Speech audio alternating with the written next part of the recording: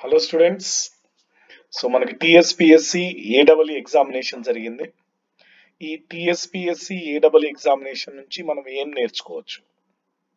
అలాగే పేపర్ ఎలా ఉంది? సో ఐ హోప్ మీరందరూ ఎగ్జామ్ బాగా రాశారని అనుకుంటున్నాను. But when compare to the previous papers మనం ప్రీవియస్ ఏడబ్ల్యూ ఎగ్జామినేషన్ పేపర్స్తో కంపేర్ చేసినట్లయితే ప్రెసెంట్ ఇవాళ జరిగిన TSPSC ఏడబ్ల్యూ exam little bit tougher side అనే చెప్పాలి. సో కొన్ని సర్ప్రైజెస్ ఉన్నాయి మీకు పేపర్లో కూడా. మనం జనరల్ స్టడీస్ ఎలా అయితే గ్రూప్ వన్కి టఫ్గా ఇచ్చారో సేమ్ మోడల్లో టిఎస్పిఎస్సి ఏడబ్ల్యూలో కూడా టఫ్గానే ఇచ్చారు general studies when compare to previous papers so ఒక ఇంజనీరింగ్ స్టూడెంట్ ఈ జనరల్ స్టడీస్ పేపర్ని చేయటం అనేది చాలా కొంచెం కష్టమని అనిపిస్తుంది.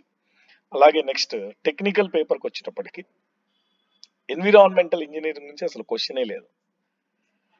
సో ఇటువంటి టఫ్ సిచ్యువేషన్ క్రియేట్ చేసి అంటే వెయిటేజ్ ప్రకారం వాళ్ళు వెళ్ళకుండా వెయిటేజ్ వెయిటేజ్ అనేది ప్రీవియస్ ప్యాటర్న్ అనేది లేదు అన్ని సబ్జెక్ట్స్ నుంచి క్వశ్చన్స్ ఇవ్వాలనేది కానీ ఏది వాళ్ళు ఫాలో అవ్వకుండా స్టూడెంట్స్కి సర్ప్రైజ్ క్రియేట్ చేశారు వాళ్ళు. సో ఎప్పుడూ లేనిది హైడ్రాలజీలో చాలా ఎక్కువ క్వశ్చన్స్ ఇచ్చారు. సో యాజ్ యూజువల్ హైడ్రాలజీ నార్మల్గా ఫోర్ క్వశ్చన్స్ వస్తాయి కానీ ఇప్పుడు చాలా ఎక్కువ వచ్చినాయి.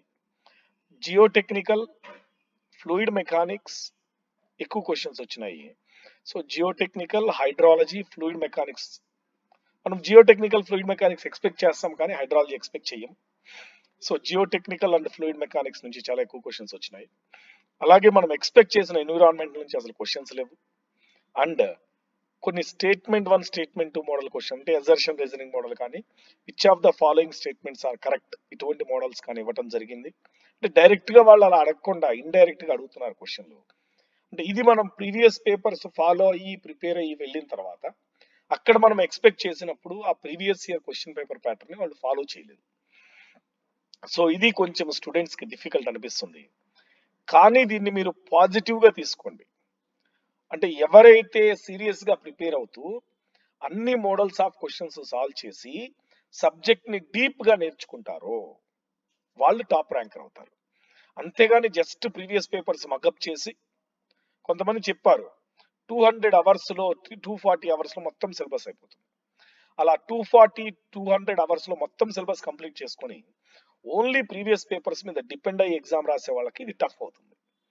కానీ మొత్తం సిలబస్ అన్ని సబ్జెక్ట్స్ ఓవరాల్గా అరౌండ్ ఒక six hundred seven hundred thousand hours చదువుకొని ఈచ్ అండ్ ఎవ్రీ కాన్సెప్ట్ డీటెయిల్డ్గా అనాలిసిస్ చేసి previous year questions classroom questions కొన్ని GATE and ESC questions solve చేసి వచ్చిన స్టూడెంట్కి ఈ పేపర్ ఈజీ అవుతుంది.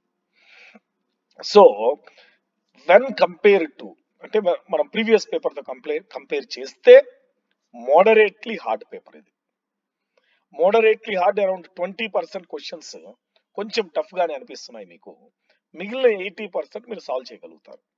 సో నేను చెప్పినట్టు తక్కువ అవర్స్ చదువుకొని ఓన్లీ షార్ట్ నోట్స్ ప్రిపేర్ అయ్యి పీవైక్యూ సాల్వ్ చేసిన వాళ్ళు వాళ్ళు only forty percent fifty percent answers మాత్రమే రాయగలుగుతారు కానీ eighty percent answers రాయలేరు.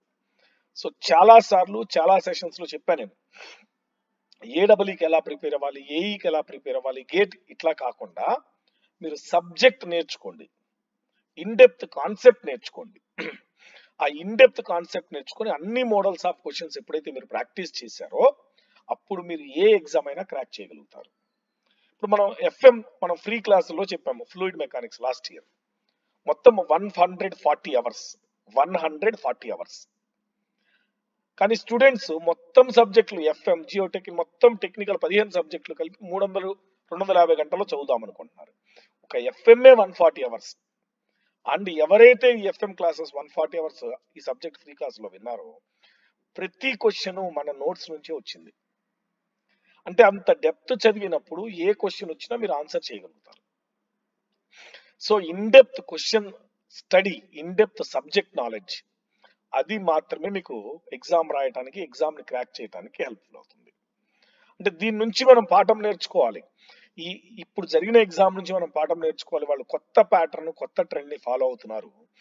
Previous subject wise weightage కానీ ప్రీవియస్ ప్యాటర్న్ కానీ అన్ని సబ్జెక్టుల నుంచి క్వశ్చన్ ఇవ్వాలన్న రూల్ కానీ ఏమీ లేకుండా they need best students who study the subject I think you got the point ఎవరైతే సబ్జెక్ట్ మొత్తం నేర్చుకొని ఎగ్జామ్ టు ఎగ్జామ్ కాకుండా సబ్జెక్ట్ మొత్తం నేర్చుకుని ఏ క్వశ్చన్ ఇచ్చినా ఏ మోడల్ ఇచ్చినా ఆన్సర్ చేయగలగడానికి రెడీగా ఉన్నారో. అటువంటి ఇంజనీర్స్ ఏడబ్ల్యూకి కావాలి అని చెప్పి వాళ్ళు ఫీల్ అవుతున్నారు. So this paper gives that representation and clear picture to the students so దీని నుంచి మీరు నేర్చుకోవాల్సిందే మొత్తం అన్ని సబ్జెక్టులు ఎక్కువ ఫోకస్ చేయండి ఇన్ డెప్త్ కాన్సెప్ట్ నేర్చుకోండి.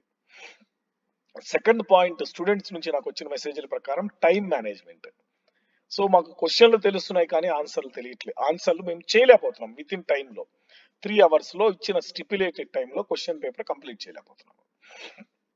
దీని మీద నేను చాలా సార్లు వీడియోస్ చేశాను. దీనికి మీకు హెల్ప్ చేసేది ఆన్లైన్ టెస్ట్ సిరీస్ మీరు ఎన్ని నెంబర్ ఆఫ్ టెస్ట్లు ఎక్కువైతే సాల్వ్ చేయగలుగుతారో అంత ప్రాక్టీస్ ఎక్కువ అవుతుంది. విత్ ఇన్ స్టిపులేటెడ్ టైంలో మీరు ఎగ్జామ్లో క్వశ్చన్స్ కంప్లీట్ చేస్తారు. ఆన్సర్ తెలిసి కాన్సెప్ట్ తెలిసి మనకు టైం సరిపోలేదంటే ఎంత బాధపడాలి మనం? సో కాబట్టి focus on finishing within the time by practicing more and more online lectures online test series ఇక్కడ నెక్స్ట్ మీకు వచ్చే రెండు ఎగ్జామ్స్ ఒకటి ఏఈ ఎగ్జామ్ ఇంకొకటి పాలిటెక్నిక్ లెక్చరర్ అయితే పాలిటెక్నిక్ లెక్చరర్ అనేది ఈక్వల్ లెవెల్ టు ఏడబలి కాబట్టి ఇంత లెవెల్లోనే మీరు ప్రిపేర్ అవ్వాలి పాలిటెక్నిక్ లెక్చరర్ కూడా ఏడబలి లెవెల్లోనే ఏఈ లెవెల్ ఇంకా కొంచెం తక్కువ ఉంటుంది. డైరెక్ట్ స్ట్రైట్ అవే క్వశ్చన్స్ ఉంటాయి. ఏడబల్ఈ అంత లెవెల్లో మీకు రావు. So my expectation my guess ఏంటంటే జనరల్ స్టడీస్ ఇంత డిఫికల్టీ ఉండదు ఏఈలో అలాగే సారీ జనరల్ స్టడీస్ ఇంత డిఫికల్టీ ఉండదు. అలాగే టెక్నికల్ పేపర్ కూడా ఇంత డిఫికల్టీ ఉండదు. సో ఇప్పుడు ఎన్విరాన్మెంటల్ ఇంజనీరింగ్ పేపర్లో ఇవ్వలేదు కాబట్టి నెక్స్ట్ ఏఈలో కూడా ఇవ్వరని వదిలేయద్దు. సో అక్కడ ఏఈ ప్యాటర్న్ మళ్ళీ సేమ్ ఫాలో అయినా ఆశ్చర్యపోక్కర్లేదు. రెగ్యులర్ మోడలే వస్తుంది. అన్ని సబ్జెక్ట్స్ ప్రిపేర్ అవ్వండి బాగా. ఆన్లైన్ టెస్ట్ సిరీస్ రాయండి. ఏఈ ప్యాటర్న్ని ఫాలో అవ్వండి. అండ్ ఏఈ ఇలాగే వస్తుందని భయపడాల్సిన అవసరం లేదు. ఏఈ పేపర్ ఏడబ్ల్ఈ కన్నా ఈజీ లెవెల్లో ఉంటుంది. ఎందుకంటే వాళ్ళు డిప్లొమా స్టూడెంట్స్ని కూడా దృష్టిలో పెట్టుకుని పేపర్ చేస్తారు కాబట్టి. సో వాళ్ళు డిప్లొమా స్టూడెంట్స్ని కూడా దృష్టిలో పెట్టుకుని పేపర్ చేస్తారు కాబట్టి ఏఈ పేపర్ కొంచెము లెవెల్ తక్కువగానే ఉంటుంది. జనరల్ స్టడీస్ కూడా ఇంత హై లెవెల్ రాదు. సో మనకి ఎగ్జాక్ట్గా మేబీ ఒక వన్ మంత్ టైం ఉందనుకుంటే ఈ వన్ మంత్ని మీరు ప్రాపర్గా ప్లాన్ చేసుకోండి. సో ఈ వన్ మంత్లో ఏ రోజు ఏ సబ్జెక్ట్ చదవాలి? ఏ రోజు ఏ టెస్ట్ సిరీస్ రాయాలి? ఏ సబ్జెక్ట్లో పీవైక్యూ సాల్వ్ చేయాలి? అలాగే ఈ ఎగ్జామ్ రాశారు ఇప్పుడు మీరు. నెగిటివ్స్ అంటే ఏ సబ్జెక్ట్లో మీరు వీక్గా ఉన్నారు. ఏ సబ్జెక్ట్లో మీరు ఆన్సర్ చేయలేకపోయారు. అలాగే ఏ సబ్జెక్ట్ మీకు డిఫికల్ట్ అనిపించింది.